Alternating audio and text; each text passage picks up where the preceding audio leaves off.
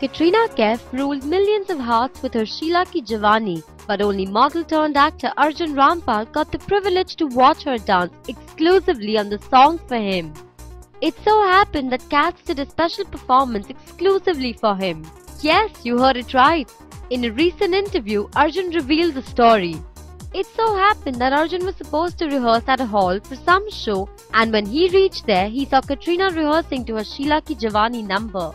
Arjun told Katrina that it was time for his rehearsal in the hall, but she requested for some more time. Arjun then smartly pretended to act tough and agreed on one condition. He asked her to send everyone out and perform specially for him. Katrina was such a sport that she actually sent everyone out and continued rehearsing. Well, what can we say? Not many people are as lucky as Arjun Rampal.